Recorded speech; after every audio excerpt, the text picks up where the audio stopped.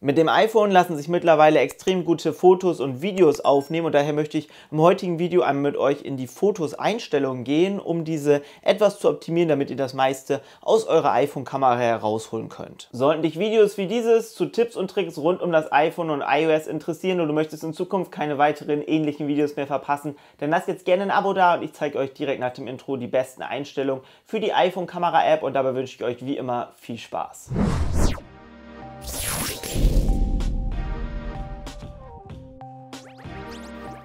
Die Einstellungen für Fotos und Videos könnt ihr natürlich in der Einstellungen-App vornehmen. Dazu öffnen wir diese einmal und scrollen hier etwas weiter nach unten bis zum Bereich Kamera.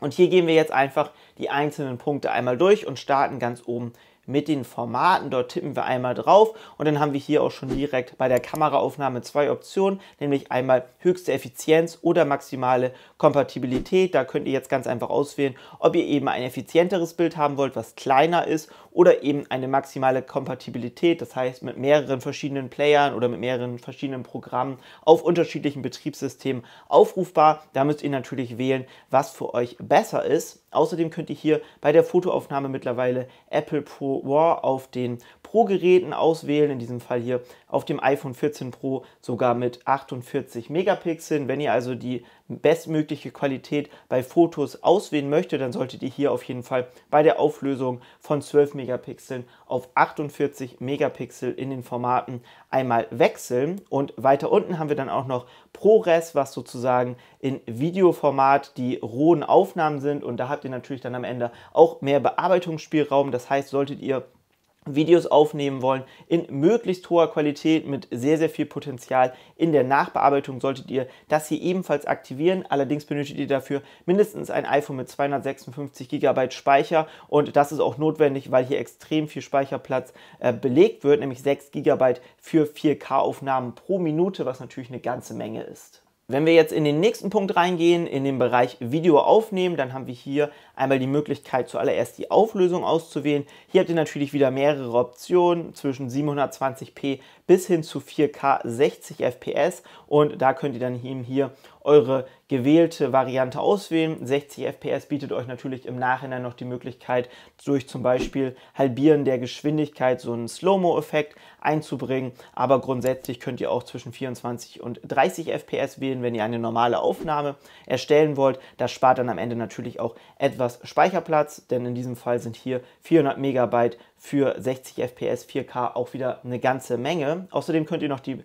PAL-Formate einblenden, dann bekommt ihr hier noch so ein paar weitere Optionen, ist aber nicht wirklich notwendig. Außerdem könnt ihr hier dann Dinge wie verbesserte Stabilisierung aktivieren. Das solltet ihr auf jeden Fall machen. Dann haben wir hier den Action-Modus bei weniger Licht. Auch das könnt ihr einmal aktivieren. HDR-Video, wenn ihr das Ganze nutzen wollt. Ich persönlich habe es lieber aus, weil sehr viele Bearbeitungsprogramme mit HDR noch nicht ganz so gut klarkommen. Und gerade wenn man Videos mischen möchte zwischen HDR und nicht HDR, kann das auf jeden Fall zu Problemen kommen. Daher habe ich in meinem Fall hier HDR dauerhaft aus. Genauso wie die Auto-FPS, die könnt ihr hier natürlich aktivieren, wenn ihr das möchtet. Aber wenn sie aktiv sind, kann es eben zu so ein paar ja, Lichtproblemen kommen, irgendwie ein Flackern was man auf jeden Fall nicht möchte. Daher habe ich das hier in meinem Fall einmal deaktiviert. Und zu guter Letzt könnt ihr hier eben noch die Kamera sperren, wenn ihr nicht wollt, dass zwischen den Kameras, wie zum Beispiel der Ultraweitwinkel und der Weitwinkelkamera, während einer Aufnahme gewechselt wird. In den Slow-Mo-Aufnahmen habt ihr ebenfalls ähnliche Einstellungen. Dazu gehen wir hier einmal rein und ihr könnt wählen zwischen 1080p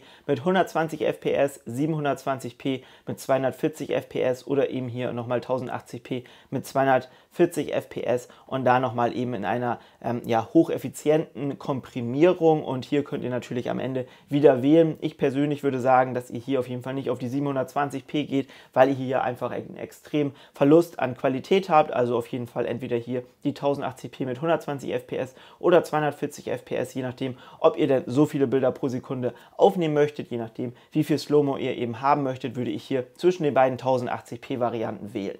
Seit dem iPhone 13 und iOS 15 gibt es den Kinomodus und den finde ich persönlich sehr praktisch. Mit dem iPhone 14 Pro ist dann zusätzlich noch die 4K-Variante dazugekommen und das habe ich hier auch aktiviert, sprich 4K mit 30 FPS, was in etwa 170 Megabyte pro Minute an Speicherplatz nimmt und das finde ich auf jeden Fall vollkommen in Ordnung. Verwende ich sehr gerne den 4K Kinomodus, kann ich daher auf jeden Fall sehr empfehlen, das hier einmal auf 4K zu stellen, solltet ihr ein iPhone 14 Pro haben, was das Ganze unterstützt. Dann gibt es noch viele Einstellungen hier direkt innerhalb der Kamera-App, nämlich einmal hier Stereoton aufnehmen. Das solltet ihr auf jeden Fall aktiviert lassen, damit ihr keinen Monoton aufnehmt. Außerdem können wir hier auf Einstellungen beibehalten gehen und da habt ihr eben die Möglichkeit, dass diese Einstellungen im Kameramodus, in der kreativen Steuerung, Makrosteuerung, Belichtung, Nachtmodus, Porträt, Action-Modus, äh, Pro RAW und natürlich auch Live-Foto immer beibehalten wird, damit sich das nicht, wenn ihr die Kamera-App einmal schließt oder euer Gerät neu startet, wieder sozusagen zurückstellt, sondern eben diese Einstellungen, die ihr vorgenommen habt, wenn ihr die Kamera-App öffnet und da irgendwie etwas verändert habt, dass die beibehalten werden. Da könnt ihr natürlich wählen, bei welchen Funktionen soll es beibehalten werden und wo soll es wieder resettet werden. Da habt ihr dann hier wirklich freie Wahl, das für euch einzustellen.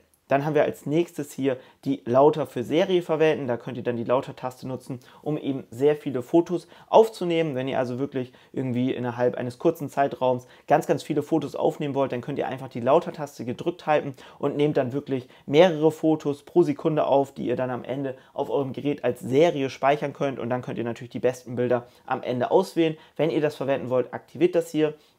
Außerdem haben wir dann die Möglichkeit, QR-Codes zu erkennen und zu scannen, was ich persönlich sehr gerne nutze, genauso wie erkannten Textanzeigen. Also wenn ihr irgendwie etwas abfotografiert, wo Text zu erkennen ist, dann wird der eben dort angezeigt. Ihr könnt ihn kopieren, ihr könnt Telefonnummern direkt anrufen, auf Websites gehen und so weiter. Ein wirklich sehr praktisches Feature, daher lasse ich das bei mir auch immer aktiviert.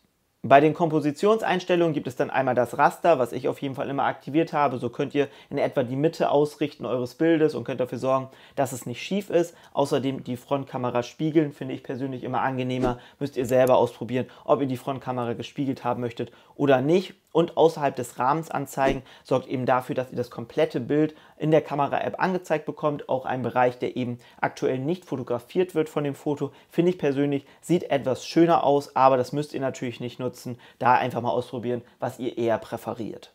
Eine sehr schöne Funktion, die das iPhone bietet, sind die fotografischen Stile. Wir können hier nämlich in der Fotoaufnahme dafür sorgen, dass vorgefertigte Stile ausgewählt werden können. Und dort könnt ihr dann wählen zwischen Standard, das wäre dann eben bei Ton und Wärme 0. Das heißt, das ist wirklich ein ganz normales Bild, so wie das iPhone es eben aufnehmen würde. Zusätzlich könnt ihr dann einmal kontrastreich wählen. Dann wird das Bild insgesamt etwas gesättigter, aber auch etwas dunkler. Dann haben wir hier Leuchten, dadurch wird es etwas heller, aber auch etwas ähm, ja, gesättigter zusätzlich. Dann haben wir hier etwas mehr Wärme, was hier dann eben für ein wärmeres Bild sorgt. Und zu guter Letzt dann etwas mehr Kälte, dementsprechend ein etwas kälteres Bild. Und da könnt ihr dann einfach wählen, was ihr gerne verwenden wollt. Also so kontrastreich ist wahrscheinlich das, was die meisten als angenehmer ähm, ja, empfinden, weil einfach ein bisschen mehr Sättigung da ist, weil das Bild einfach ein bisschen lebendiger wird. Daher könnt ihr das hier auswählen. Wenn ihr normal auswählt, habt ihr aber wirklich den Standard und könnt damit natürlich im Nachhinein auch am meisten rausholen, wenn ihr das Bild bearbeitet.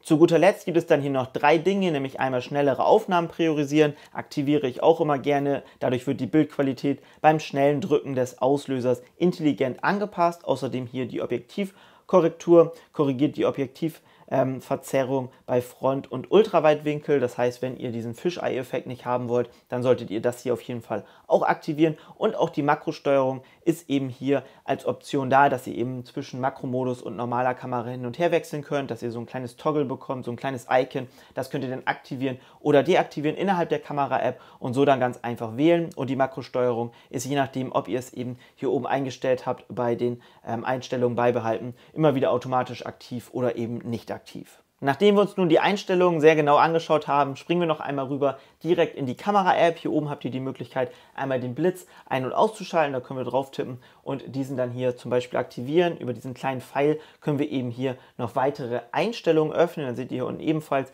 die Blitzeinstellung, Live-Foto kann aktiviert oder deaktiviert werden. Dann können wir hier wählen zwischen äh, 4 zu 3 oder 16 zu 9 Fotos. Außerdem können wir hier noch Dinge wie zum Beispiel die Beleuchtung ganz einfach anpassen. Dann haben wir hier einen Timer, den wir aktivieren können, um eben ein Foto nach 3 oder nach 10 Sekunden zu machen. Und zu guter Letzt haben wir hier dann noch ein paar Filter. Das heißt, wir können jetzt eben zwischen äh, Original, Strahlen, Strahlen warm und so weiter wählen. Also da gibt es dann sehr viele Filter, die ihr vorauswählen könnt, wenn ihr das gerne möchtet, wenn ihr direkt schon bei eurem Foto einen bestimmten Look erzeugen möchtet. Oben habt ihr dann die Möglichkeit hier die RAW-Fotos zu aktivieren oder zu deaktivieren. Außerdem haben wir dann daneben einmal die Live-Foto-Funktion, die wir verwenden können. Und hier unten können wir eben die Zoom-Stufen auswählen. Ab dem iPhone 14 Pro haben wir da jetzt mittlerweile vier Stück, nämlich eben 0,5, 1, 2 und 3, je nachdem, was ihr für ein Gerät und für ein iOS installiert habt, können das aber auch nur zwei Stufen oder drei Stufen sein. Unten links habt ihr dann die Möglichkeit, auf eure Fotos zuzugreifen und das letzte erstellte Foto wird dort in Miniatur angezeigt und wenn ihr dort draufklickt, dann wird es eben einmal groß angezeigt. In der Mitte könnt ihr natürlich das Foto schießen und mit dem Button hier unten rechts könnt ihr ganz einfach zwischen Front- und Rückseitenkamera wechseln und ihr seht hier auch die verschiedenen Modi, das heißt, wir gehen die hier einmal durch. Wir haben nämlich einmal einen Zeitraffer, den wir verwenden können. Außerdem haben wir dann hier die Möglichkeit, auf Slow-Mo zuzugreifen. Das heißt, dort könnt ihr eben zum Beispiel in 720p oder 1080p mit bis zu 240 fps Slow-Mo-Aufnahmen machen. Als nächstes haben wir dann den Kinomodus, der einfach für eine gewisse Unschärfe im Hintergrund oder im Vordergrund sorgt. Wie ihr seht, das Ganze passt sich hier schon so ein bisschen an und wenn ich hier einmal fokussiere, dann wird das hier vorne scharf und im Hintergrund unscharf oder eben andersherum. Funktioniert sehr gut mittlerweile auf dem iPhone. Als nächstes haben wir dann den ganz klassischen Videomodus. Hier könnt ihr dann oben noch einmal zwischen den Auflösungen wählen. Also 4K 30 ist hier aktuell ausgewählt, aber ihr könnt auch hier ganz einfach tippen und dann eben wechseln zu HD oder eben hier auch die FPS ganz einfach anpassen, je nachdem, was ihr verwenden wollt. Hier oben wird euch der aktuelle, ähm, die aktuelle Zeit, die aufgenommen wurde, angezeigt und ihr könnt hier ganz oben neben dem Blitz auch in den Action-Modus wechseln. Das heißt, den könnt ihr hier ebenfalls aktivieren, um eben extrem stabilisierte Videos aufzunehmen, was ebenfalls ein sehr schönes neues Feature der iPhone 14 Reihe ist. Wenn wir hier nun weiter wechseln, haben wir als nächstes einmal Foto, das habe ich euch bereits gezeigt und dann Porträtfotos, die wirklich sehr schön sind. Da könnt ihr zwischen verschiedenen Lichtstimmungen wählen, wie zum Beispiel hier natürliches Licht. Dann haben wir als nächstes einmal Studiolicht, als nächstes dann hier Konturenlicht und dann könnt ihr hier auch noch Bühnenlicht auswählen und so weiter. Also da gibt es so ein paar Optionen und der Hintergrund wird dann eben durch ein Bokeh unscharf und ihr könnt sehr schöne Porträtfotos aufnehmen. Macht auf jeden Fall sehr viel Spaß, damit ähm, ja, Fotos zu erstellen. Hier oben könnt ihr dann noch die Blende anpassen, das heißt, da könnt ihr raufgehen und habt dann hier eben die Möglichkeit, auch nochmal mit der Blende zu arbeiten, um zum Beispiel auch die Unschärfe im Hintergrund anzupassen, je nachdem, wie ähm, offen ihr die Blende macht desto ähm, unschärfer ist der Hintergrund und ähm, dementsprechend könnt ihr hier natürlich auch ganz einfach den Stil anpassen und bereits im Vorhinein, wenn ihr ein Foto erstellt, dafür sorgen, dass es so aussieht, wie ihr es gerne hättet.